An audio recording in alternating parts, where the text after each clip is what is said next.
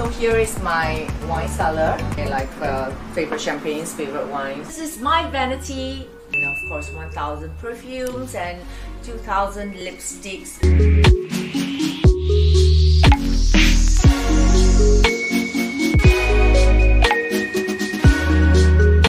前。六月一日，据媒体报道，名媛蔡欣颖决定离开住了十三年的豪宅，并晒出豪宅内景，装修奢华，面积超大，自带花池游泳池，还有私人酒窖、影院、个人 SPA 馆等。而在她的衣帽间中，各种名牌衣服应有尽有，爱马仕包包就有两百多款，行李之多，用了四百多个箱子才装下，令人不禁感叹太豪了。